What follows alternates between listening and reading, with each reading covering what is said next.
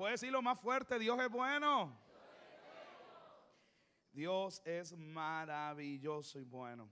Estamos viendo el Salmo 65. Acompáñenme ahí, por favor. Salmo 65. El viernes empezamos este tema. Y el Salmo 65 es un salmo de alabanza.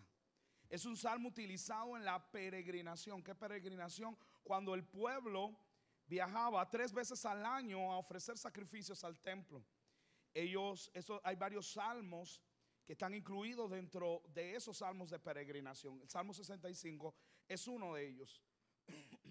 Precisamente Dios nos ha dado una palabra este año que nos hablaba de, entrar como una temporada de primavera donde vamos a reverdecer, florecer y fructificar. Y el lema de este año es uno a uno, porque uno a uno de los frutos, las bendiciones, vamos a ver, amén. Denle un aplauso al Señor también por eso. Entonces Salmo 65. ¿Cuántos nos subieron el viernes? A ver. ¿O cuántos estuvieron el viernes? Mejor es la pregunta. Ok un poquito como 50%, así que siempre voy a hacerles un repasito así rápido para llegar donde quedamos. Este es considerado un canto donde, donde se cantaba precisamente en esa festividad de primavera. Y como dice el versículo 1, nos lleva a pensar en esos verdes pastos en medio, en algún momento de desiertos. Y podemos ver aquí también cuando dice, pagaré los votos pues nos habla de, esos, esas ofrendas que eran llevadas al templo. Entonces este canto era apropiado precisamente para fiestas y celebraciones. Leemos el versículo 1. Tuya es la alabanza en Sión, oh Dios. A ti se pagarán los votos. ¿Puede decirlo? Leerlo fuerte. Uno, dos y tres.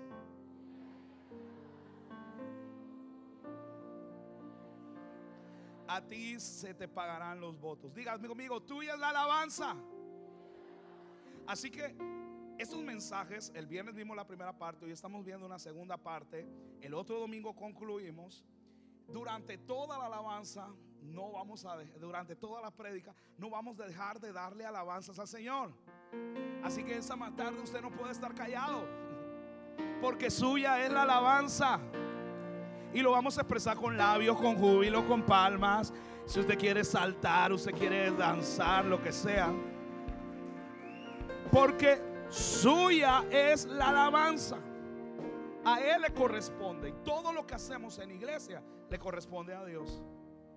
Todo lo que usted haga, diezmos, ofrendas, alabanza, grito, todo es para Dios. Y es interesante porque cuando en el Antiguo Testamento se hablaba de, de lo que dice aquí, de votos, lamentablemente la gente ha cambiado porque ya no, ya la gente no es de palabra, ¿sí o no? Usted puede hoy hacer un negocio y un contrato y sin firmar nada. Hágalo para que usted vea cómo se lo van a llevar en el carrito, porque ya la gente no es así.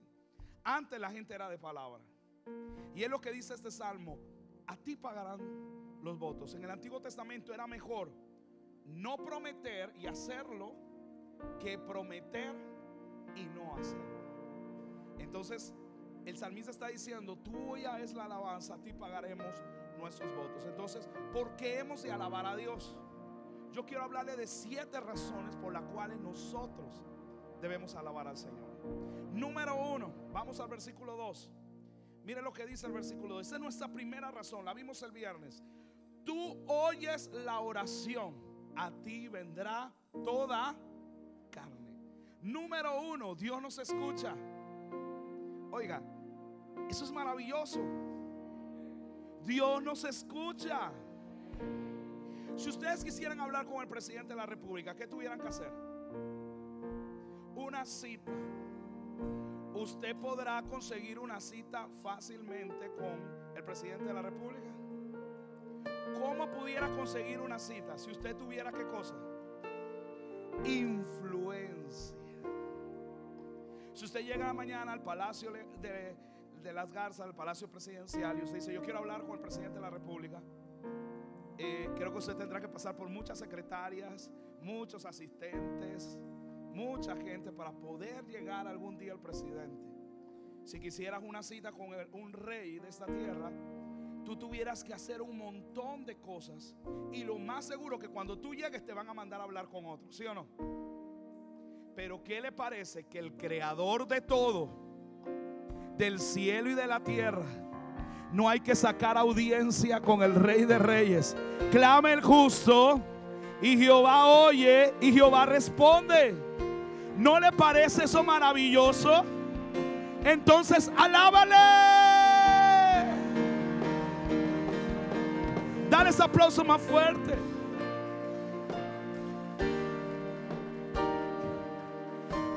Diga, yo tengo influencia. Porque tengo las puertas, las puertas del cielo abiertas para mí. Y sabes que la mejor, lo mejor que Dios nos dio libre acceso al trono de la gracia, que no depende de mi condición. Porque si en esta tarde tú eres un vil pecador, pero que tienes arrepentimiento, tienes el mismo acceso que yo también tengo al trono de la gracia. ¿No le parece eso maravilloso? Entonces esa es nuestra primera razón. ¿Por qué alabo a Dios? Porque Él me escucha. Wow. Maravilloso. Dios me escucha. Y vimos el viernes y no puedo quedarme acá. Escuche la prédica, pídase audiovisuales. Pero le voy a decir algo más para que usted alabe al Señor de este primer punto. Mire lo que nos dice Filipenses 2:20. ¿Qué dijimos? La razón número uno, ¿cuál es? Dios nos escucha. Pero pregunta, tú puedes estar conversando con alguien, te puede estar escuchando, pero no te está prestando atención. ¿Le ha pasado? Uh, dice mi marido, pastor. sí, mi marido, le estoy hablando y no me presta atención. Pero alguien te puede estar escuchando y no te presta atención. Pero me dice a mí, Filipenses, que Él se interesa por mí. Tiene un interés, no de conveniencia de sacar algo de mí, sino que su interés, dice ahí, es sinceramente se interesa por nosotros. Entonces, vuelvo y les hago la pregunta y se la voy a hacer continuamente. ¿Cómo no he de alabar al Señor si Él me escucha? se interesa y lo hace de forma sincera, ¿cómo no he de alabar al Señor? Aleluya.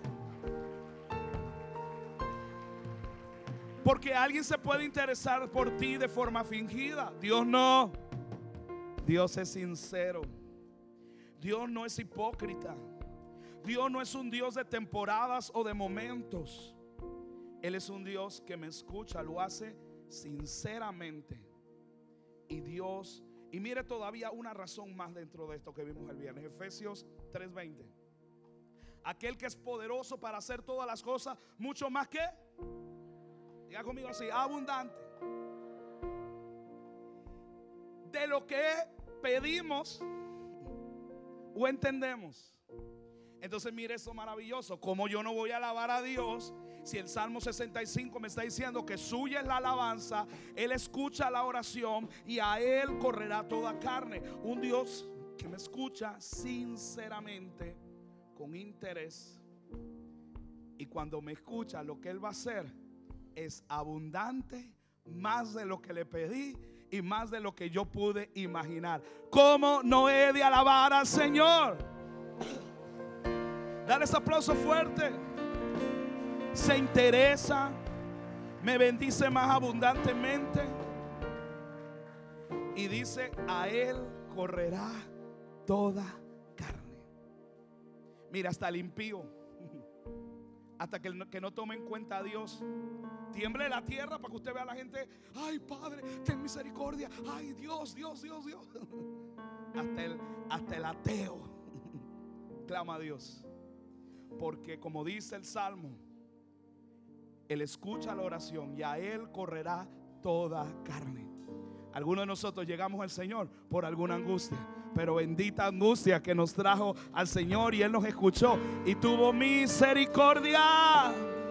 Por eso puedo decir, a Él correrá el justo.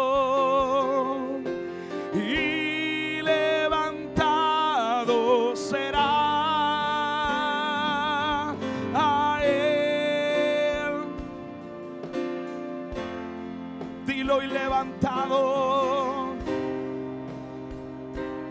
Dos será,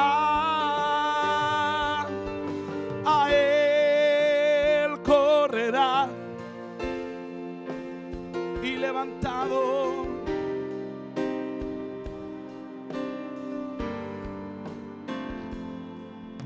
Razón número dos lo veo en el versículo 3. Las iniquidades prevalecen contra mí, mas nuestras rebeliones tú las, tú las, ¿qué hace Dios nos? La palabra utilizada para perdonarás, aquí es la palabra capar, que viene de la palabra Kippur. ¿Han escuchado el John Kippur? Fue precisamente eh, aquel momento en el cual Dios tuvo misericordia del pueblo y la palabra Kippur viene de expiación. Entonces, tengo un Dios que no solo me escucha, sino un Dios que me perdona. La misericordia de Dios es tan grande que David, escritor de este salmo, estando en el Antiguo Testamento, en el Antiguo Testamento estaba la ley y la gracia empieza en el Nuevo Testamento después de la muerte de Jesús. Pero lo más hermoso que David está teniendo una revelación de la gracia de Dios, estando viviendo aún bajo la ley. Qué hermoso es. ¿Qué es la gracia de Dios? Alguien me preguntó un día, ¿qué pastor? ¿Qué es la gracia? La gracia de Dios es un don no merecido. No lo merecíamos, pero Él tuvo misericordia de nosotros. No lo merecíamos, pero también nos perdonó nuestros pecados.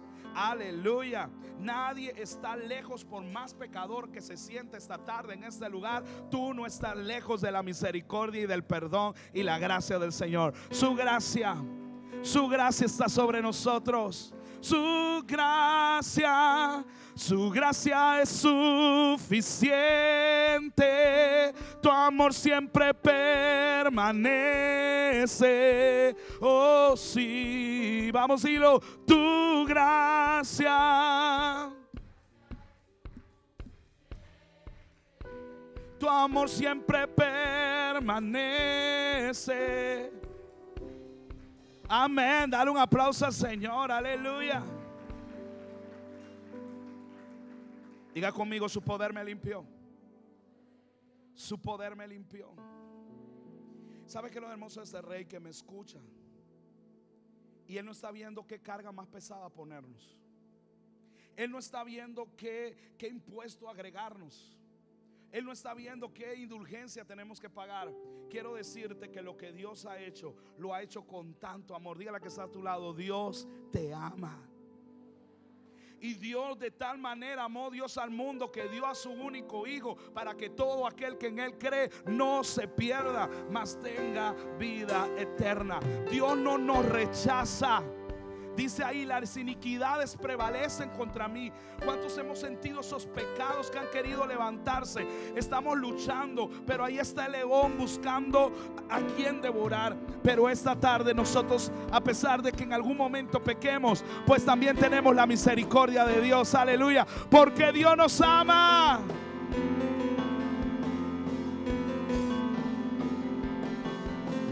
Aún así, dígalo pobre pecador, Dios.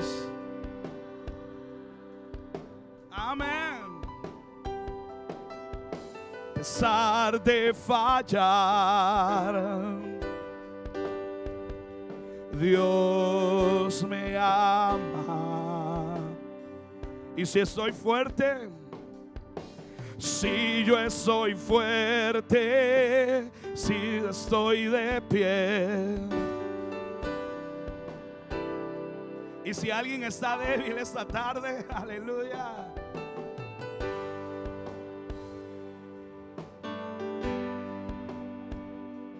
Él no me deja de... Vamos iglesia, dilo. Sin tu amor. Él nos perdonará de mí. Dígalo, Dios me ama tanto.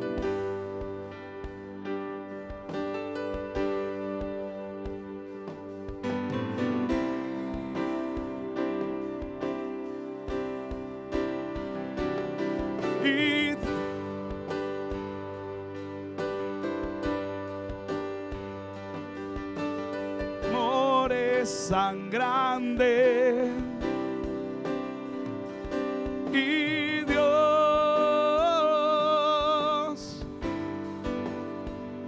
y tiene sus brazos siempre para mí.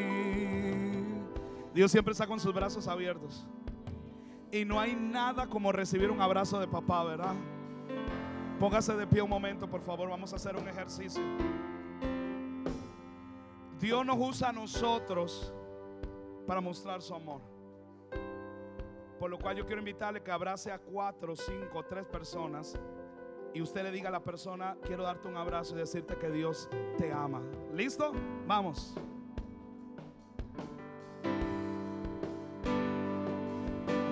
Oh, Dios nos ama. Dios te ama, dile, Dios te ama.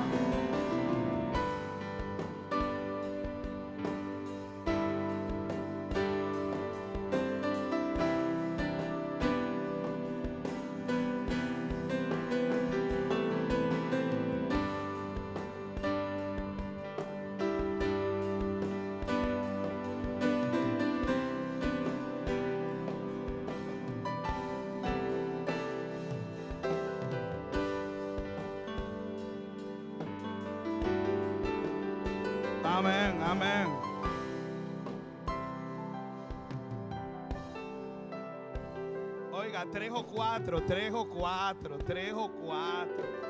Era decirle Dios te ama, no contarle tu testimonio de vida. Pueden tomar su lugar. Y número tres, la primera era alabamos a Dios, ¿por qué? Nos escucha. La segunda razón, alabamos a Dios porque nos perdona. Razón número tres, y fue la que quedamos el viernes, está en el versículo 4. Bienaventurados. Bienaventurado el que tú escogieres y atrajeres hacia ti. Porque para que habite en tus atrios y seremos saciados del bien de tu casa, de tu santo templo. Entonces, ¿por qué yo alabo al Señor? ¿Por qué tengo que estar cantando? Porque Dios me escucha. Luego de escucharme me perdona. Luego de perdonarme me atrae. Haga conmigo así. Me atrae. Me atrae. Gracias. ¿Y para qué me atrae? Bueno, empecemos primero. Dígale que se a usted bienaventurado. Dice el versículo bienaventurado. porque somos bienaventurados? No es del que quiere, no es del que corre, es del que Dios tiene misericordia. Y cada uno de los que estamos aquí, Dios tuvo misericordia. Nuestro embrión vieron sus ojos y el Señor nos tomó como escogidos. Soy bienaventurado no por mis, mis capacidades, por por quien yo soy, por mi apariencia. Sencillamente soy bienaventurado porque Él me escogió a mí primero. ¿Para qué? Para atraerme. ¿Para qué Dios quiere atraernos? Para bendecirnos. Dígale que está a su lado. Dios quiere atraerte para bendecirte. ¿Y cuál es la bendición? Dice para que habiten sus atrios. Entrar a la presencia de Dios y estar en los atrios era un privilegio. Mucho más entrar. El templo se dividía en tres lugares. Atrio, lugar santo y lugar santísimo. En el atrio podían estar los otros sacerdotes, pero al lugar santo y al lugar santísimo podía entrar el sumo sacerdote una sola vez al año. Pero ¿qué le parece que el Dios maravilloso envió a su Hijo que murió en la cruz, que el día que murió el velo del templo que separaba el lugar santo y el lugar santísimo se rasgó de arriba hacia abajo y hoy tenemos libre acceso. No hay velo que nos detenga, no hay puerta que nos detenga, tenemos el libre acceso. Porque Él era el sumo sacerdote, pero también fue la ofrenda. Una sola ofrenda Un solo derramamiento de sangre bastó para las siguientes generaciones hasta el día de hoy y las generaciones que están por venir de generación en generación porque Jesús derramó su sangre. ¿Para qué? Porque ha estado interesado en estar cerca. Si usted ve el templo, el tabernáculo de Moisés, el templo estaba en el centro. Siempre ha querido ser el centro. Siempre nos ha querido tener cerca. ¿Sabe por qué somos bienaventurados hoy? Porque de las tribus, Dios escogió una, la tribu de Leví. ¿Para que fueran qué? Ahí fuera precisamente Leví, los levitas, los sacerdotes. ¿Sabe qué todavía es más maravilloso y por qué somos bienaventurados hoy? Porque Dios cuando dispuso el tabernáculo y después el templo de Salomón, Dios pudo para lo suyo, lo santo, porque todo lo que estaba en el templo era santo. Dios pudo autorizar ángeles para que administraran los santos de Dios. Pero ¿sabes qué hizo el Señor? Escogió seres humanos. Que hasta el día de hoy Dios puso los santos para que lo pudiéramos administrar. Así que todos nosotros, seres imperfectos, Dios los escogió de lo vil y lo menospreciado para que hoy podamos administrar los santos de Dios. ¿No le parece una razón maravillosa para alabar a Jesucristo? Para alabar a Dios.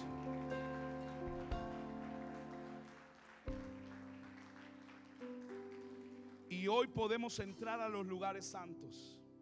Hoy podemos entrar al lugar santísimo debido a la muerte de Jesucristo en la cruz del Calvario. Sencillamente para traernos, dice el versículo, para que habitemos en sus atrios y seremos que saciados. ¿Cuándo es que decimos que estamos saciados?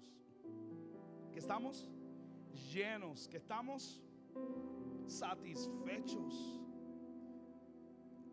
¿Usted se ha sentido saciado? Me imagino que ahora en Navidad verás con, con el lechoncito, el pavito, el jamoncito. Que ya a esta altura no queremos saber ni de jamoncito, ni de pavito, ni de... Porque nos saciamos. Y dice un dicho, barriga llena, corazón contento. Entonces Dios nos atrae a su presencia y en esta tarde hay un banquete espiritual del cual estamos comiendo y alimentando y cada vez que venimos a la casa de Dios salimos satisfechos y llenos de todo el alimento que Dios nos da porque Él nos atrae para saciarnos. Aleluya. Y no solo, mire, es, yo lo veo aquí, no solo, digamos, en el punto espiritual de la presencia de Dios. Dios te trajo a esta casa, centro de adoración cristiana, porque Dios te va a bendecir aquí. Dios va a bendecir tu familia aquí en la casa, en el CAC. Tus hijos van a ser bendecidos en esta casa. Tus hijos los vas a ver crecer, servir y adorar a Dios, porque Dios también los trae con cuerdas de amor para honrar su nombre. ¿Lo creen? Por eso no cese de decir, mi casa y yo serviremos al Señor. Dígalo si usted lo cree, mi casa. Más fuerte. Vamos, grítalo con fe, mi casa y yo.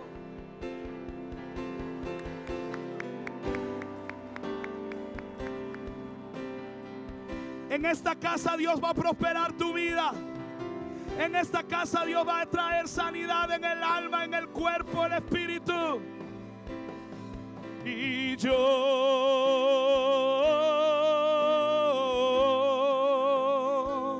te anhelo, Señor. estoy,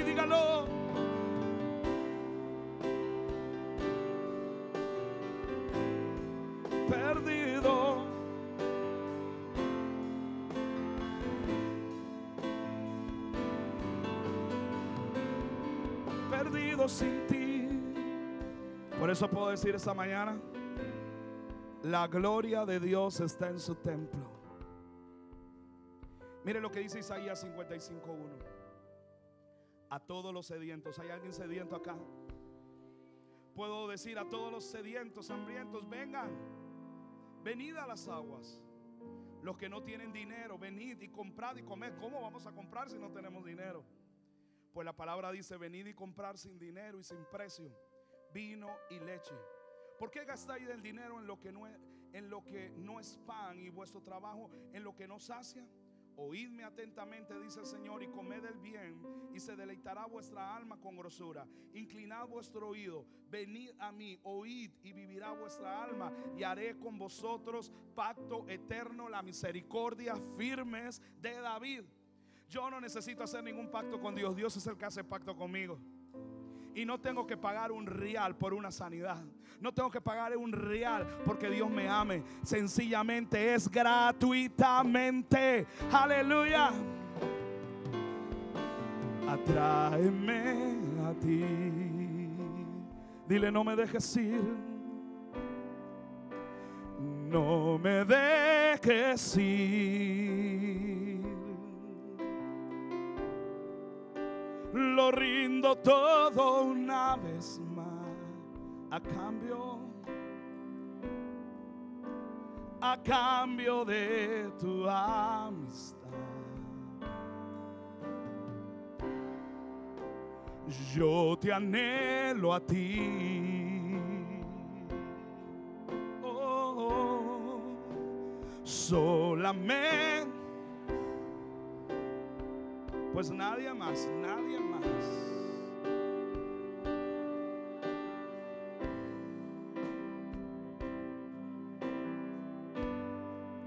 Me abrazará con tal como no he de alabarte, Señor. Guíame. Y de regreso a ti. Vamos fuerte, dilo.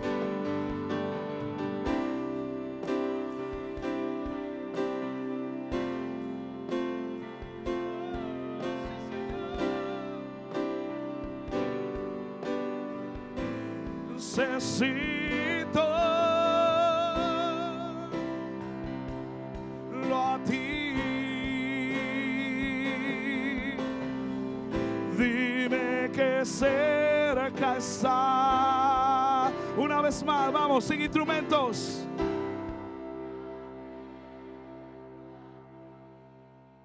Oh Dios,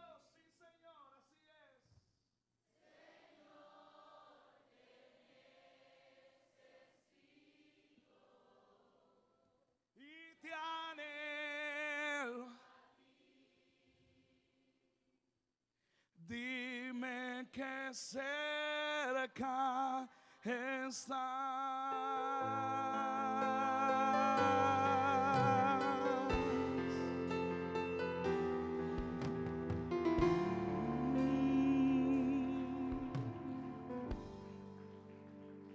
Entonces alabo a Dios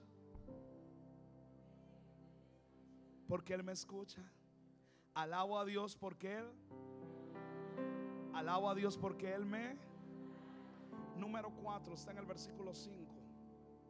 Con tremendas cosas. Wow. Con tremendas cosas nos responderá. Nos responderá como nos responderás tú en justicia, oh Dios de nuestra salvación.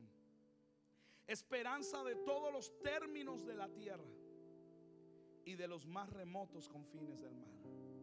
¿Cuántos no esta mañana, en esta tarde, cuántos deseamos que Dios nos responda con tremendas cosas?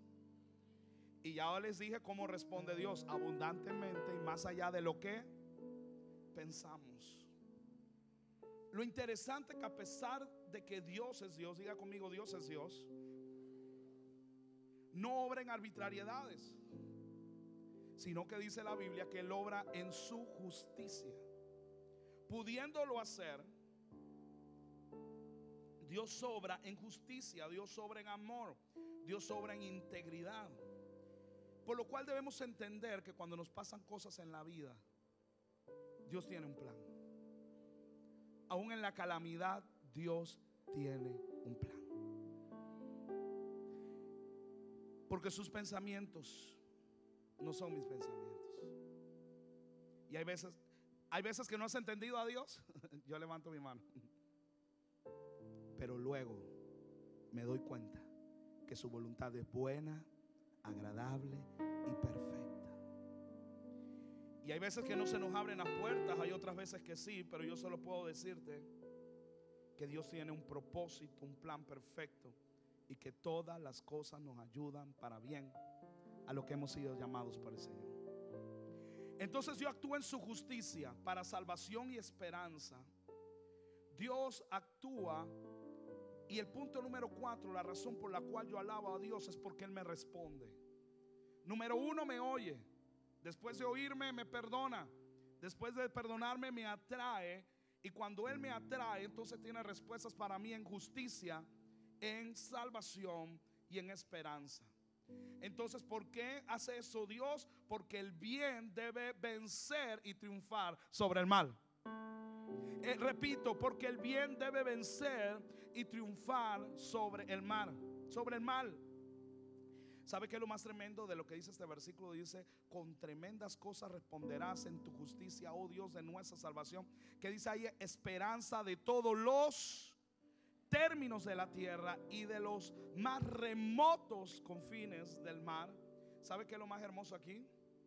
Que nosotros siendo gentiles, el pueblo gentil, estamos incluidos en esta esperanza. No me escuchó. ¿Se acuerdan lo que hablamos el día de Navidad? ¿Se acuerdan los sabios de Oriente?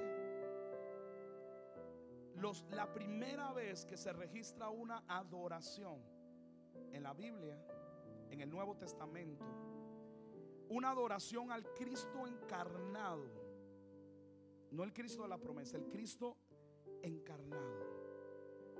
Hicimos la comparación de la manifestación de los ángeles a los pastores hicimos la comparación de estos sabios de Oriente, no tres reyes magos, porque no dice la Biblia que eran tres reyes magos.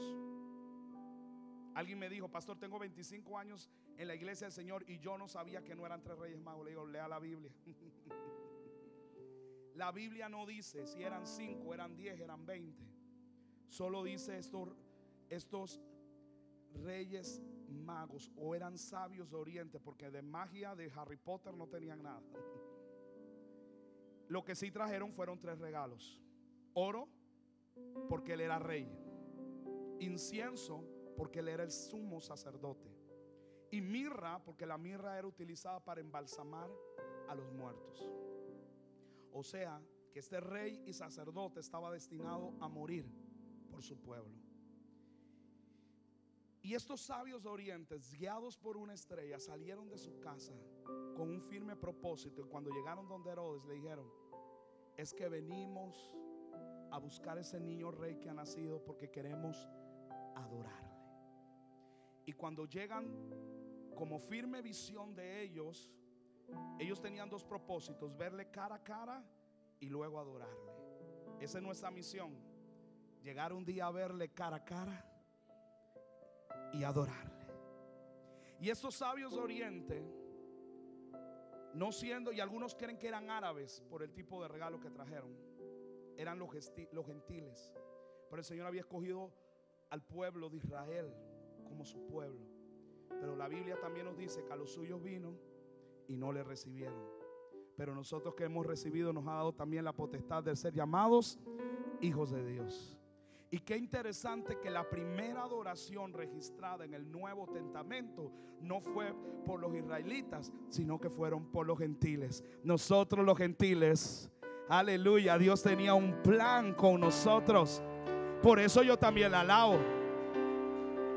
Pero lo interesante de David es que dice, hasta dice, esperanza de todos los términos de la tierra y de todo, dice, y de los demás retornos de confines del mar o los confines de la tierra, entonces quiere decir que allí en esa esperanza estábamos todos nosotros.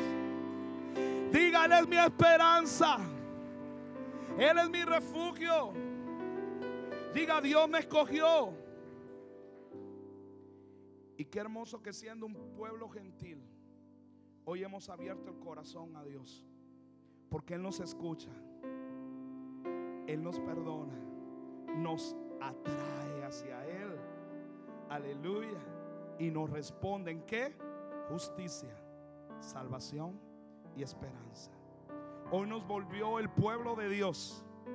Hoy nos escogió como un linaje escogido para hacer una respuesta también, para llevar el nombre de Jesucristo hasta los confines de la tierra, hasta donde sea llevar el nombre del Señor. Hemos sido escogidos, dígale que está a su lado, hemos sido escogidos. Somos el pueblo de Dios. Somos un pueblo especial, llamados, llamados para anunciar las virtudes de aquel que nos llamó a su luz. Somos, dígalo, somos el pueblo de Dios. Su sangre nos redimió y su espíritu dio para darnos poder, darnos poder y ser testigos de Él. Y llevaremos, dígalo, a cada pueblo, trayéndoles esperanza y nuevas de salvación, pasión y su amor. Impulsa, no nos podemos anunciaremos al mundo.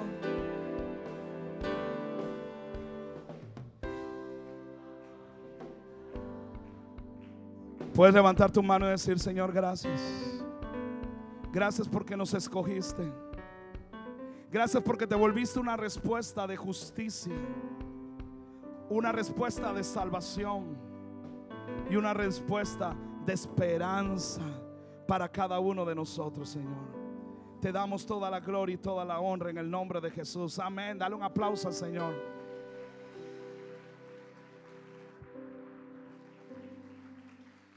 Mire, número 5. Hacemos un repaso. Alabamos a Dios porque número uno, ¿qué hace Dios? Número dos. Número tres. Número cuatro. No responde. Y número cinco Mire lo que dice el versículo 6 y 7. Tú el que afirma los montes con tu poder, ceñido de valentía, el que sosiega el estruendo de los mares y el estruendo de sus ondas y el alboroto de las naciones. ¿Sabe cuál es la razón número 5? Porque Él es poderoso. Aleluya. Puedes levantar tu mano y decirlo. Poderoso dígalo conmigo, poderoso. A ver, iglesia, dilo. Oh, vamos, Él es poderoso. Poderoso. Oh, si Él es el rey, Él es poderoso. Y con su sangre nos limpia porque es y no podemos dejar de alabarle porque y nos da victoria sobre el pecado porque y no dejaremos de ver su mano. Oh, de una vez más y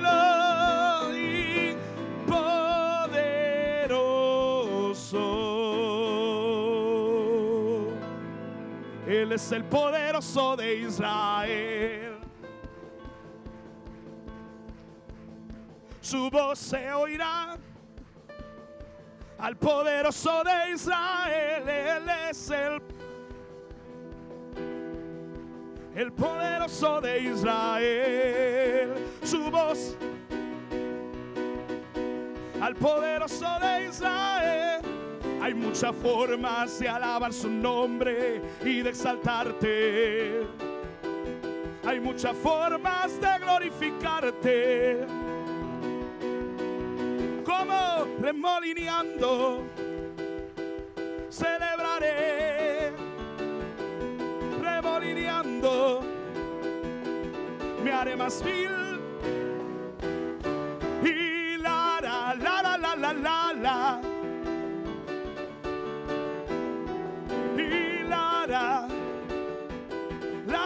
la la la la la la la.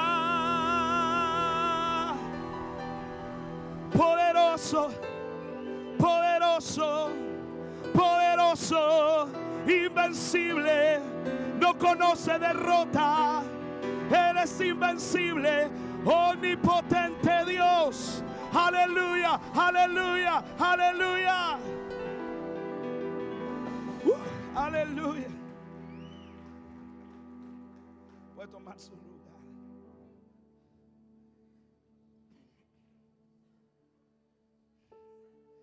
Fuego. Y este gozo no va pa.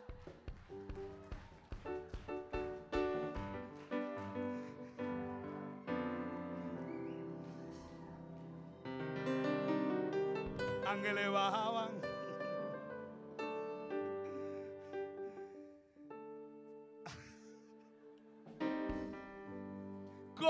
No hemos de alabarle?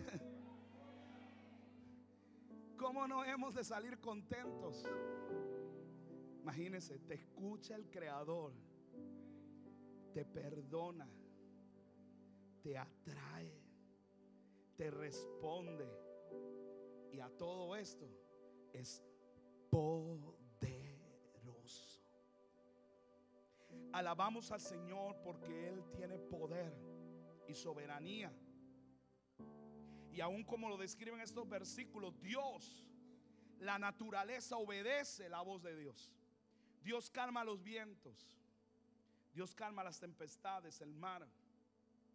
Y cada cosa de la naturaleza, en cada cosa nos lleva a entender el carácter de Dios. ¿Cómo te has sentido cuando ha caído un trueno de esos? Algunos quieren esconderse bajo la cama. Imagínense si Dios es poderoso. Pero cómo nos sentimos al escuchar un riachuelo, un río fluyendo el agua musicalmente entre las piedras. También nos demuestra el carácter apaciguador de Dios. Vemos a Dios en los volcanes, en los prados. Vemos a Dios en los mares, en los rayos, en la lluvia. Aún Dios puso carácter de Él en los animales.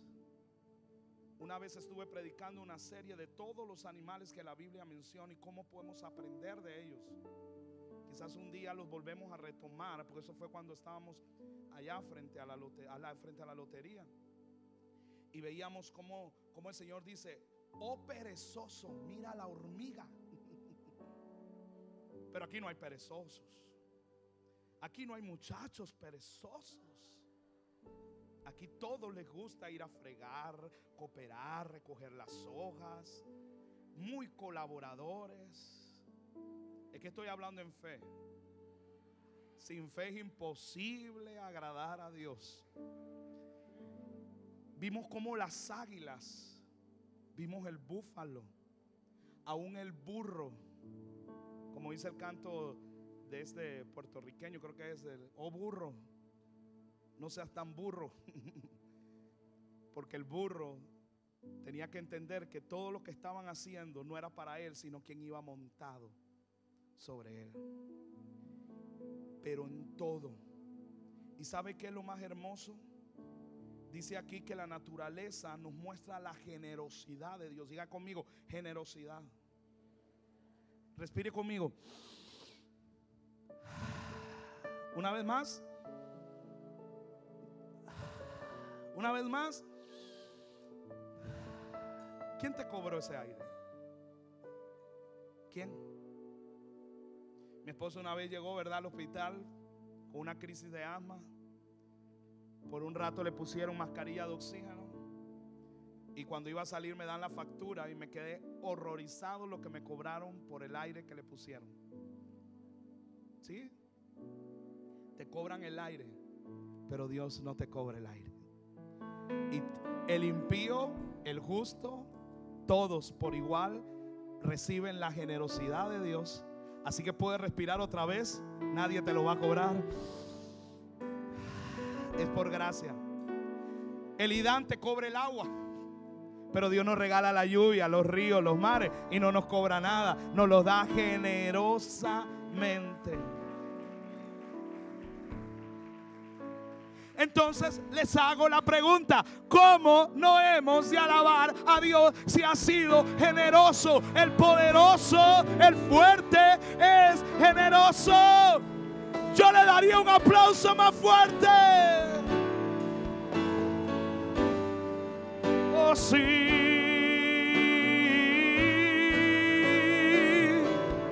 Y yo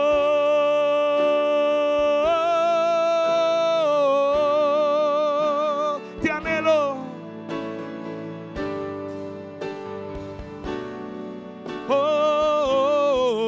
estoy, estoy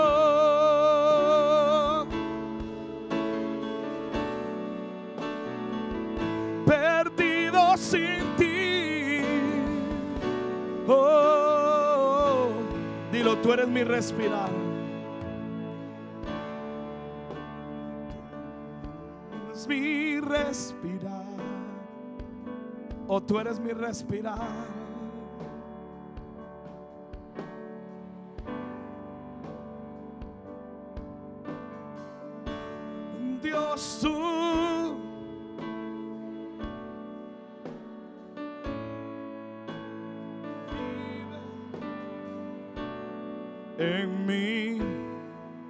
También Él es el pan y nos da el pan de vida.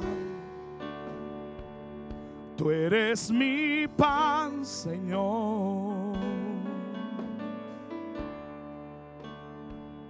Tú eres mi pan, Señor.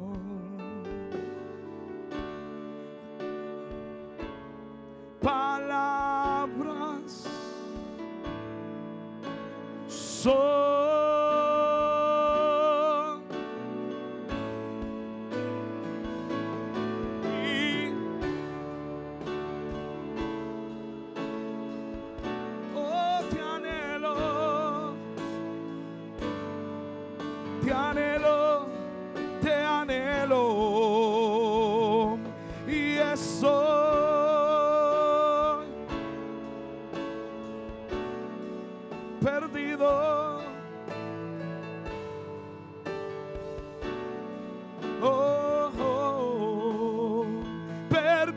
sin ti.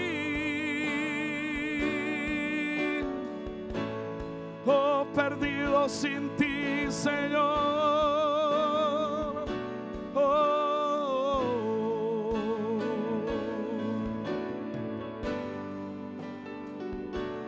Dígale, Señor, te necesito. Señor, te necesito.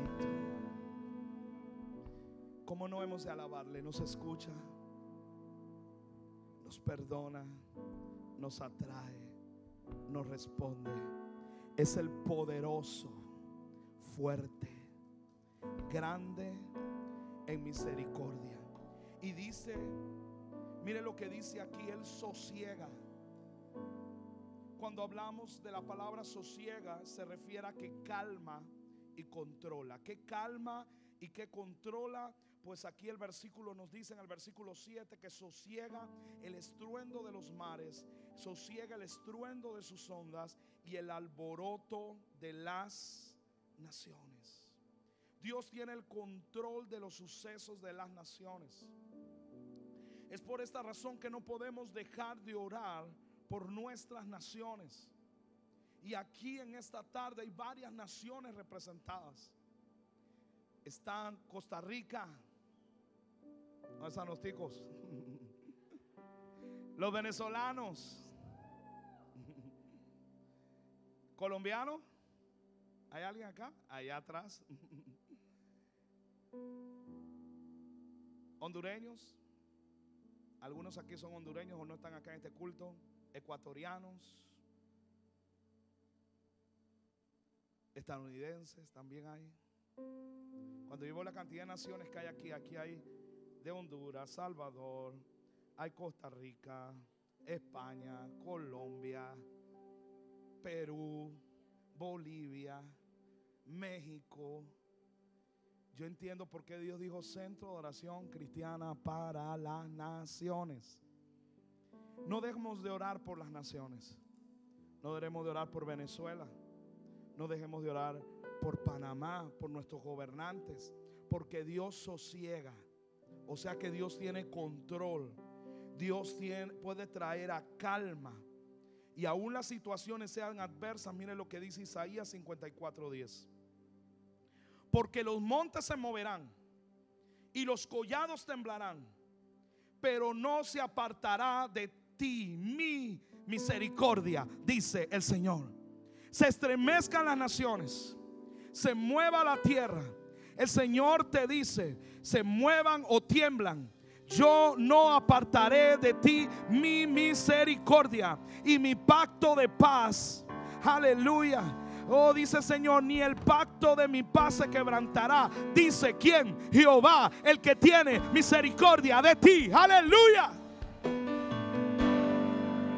Diga conmigo, Él sostiene mi vida. El poderoso sostiene mi vida. El poderoso sostiene mis finanzas. El poderoso sostiene a mis hijos. El poderoso sostiene la iglesia. El poderoso sostiene, oh aleluya, todo, todo, todo, todo. Tiemble, se mueva la tierra.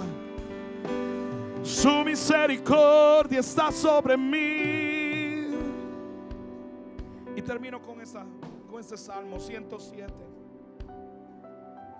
Entonces clama Jehová entonces claman a Jehová en su angustia.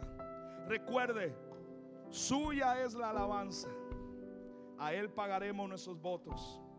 Él escucha la oración y a Él corre toda carne. Entonces clamarán a Jehová en su angustia y lo librará de sus aflicciones. Cuando estés en angustia, corre a Él, porque Él te libra de todas tus aflicciones porque Él cambia la tempestad en sosiego. Y, y dice y apacigua sus ondas. Luego se alegran porque se apaciguaron. Y así los guía al puerto que deseaban. Alaben la misericordia de Jehová y sus maravillas para con los hijos de los hombres. Exaltemos al Señor en la congregación del pueblo y en la reunión de los ancianos. Alabemos su nombre.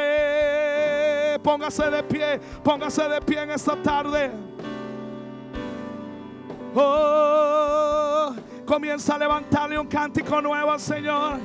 Oh, canta hija de Sión, canta hija de Sión, da voces a tu rey. Oh, Jehová el poderoso reina. Jehová el Señor se manifiesta sobre sus hijos, sobre su casa. Oh, como no hemos de alabarte, como no hemos de cantarte a ti, como no hemos de abrir nuestra boca y agradecerte. Oh, eres santo y bueno.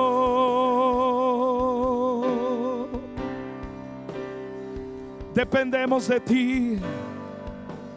Dependemos de ti, Señor, Señor, Señor. Oh, oh, oh. Y yo eres tú, eres mi rey mi Señor. Santo, santo.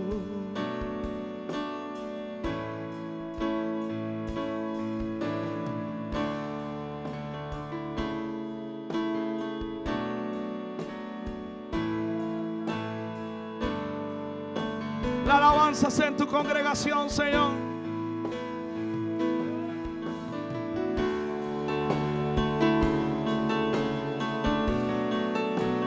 nos escuchas, nos perdonas, nos atraes, nos respondes, porque eres poderoso y yo.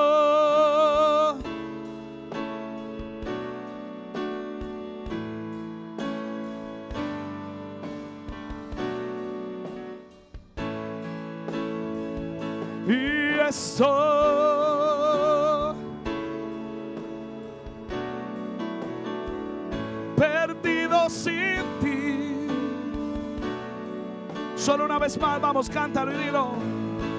Y yo.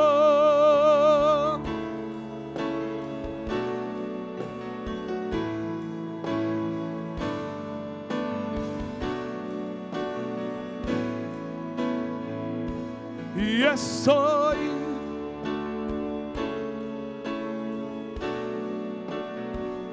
perdido sin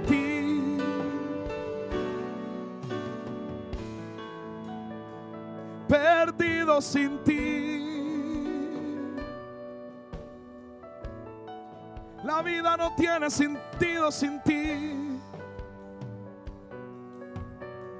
Nada de lo que tengo si no estás tú, no tengo nada.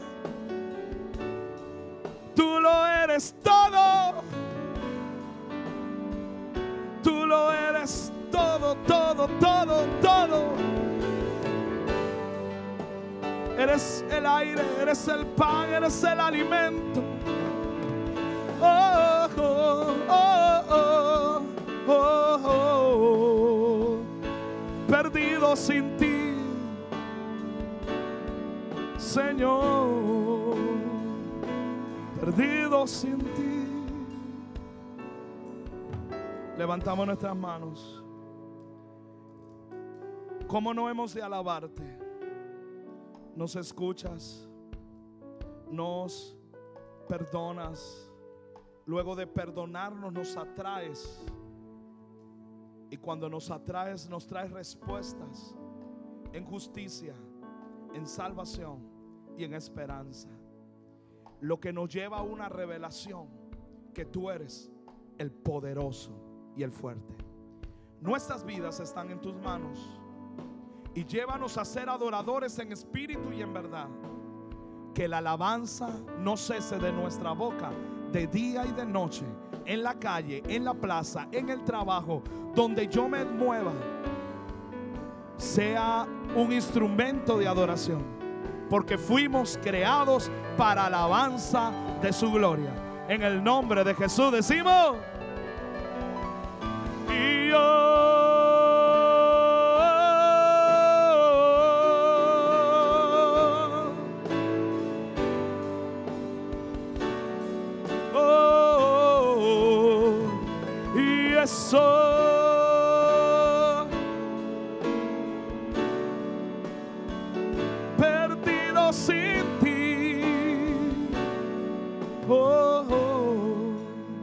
Gracias Dios. Bendecimos a los que nos ven por las redes sociales. Que la bendición de Dios Padre, Hijo, Espíritu Santo esté con ustedes también. Gracias por acompañarnos en esta transmisión. Dios los bendiga. Nosotros acá vamos a seguir adorando a Dios. Porque Él es digno de la alabanza y, y paguemos a Él nuestros votos. Hoy lo hacemos con ofrendas, con diezmos, de forma voluntaria. Pueden sentarse, preparar esas ofrendas, esos diezmos. Si va a diezmar, utilice un sobre. Si va a ofrendar, solo tómela en su mano y pásela al folí y bendiga la casa de Dios. Y yo,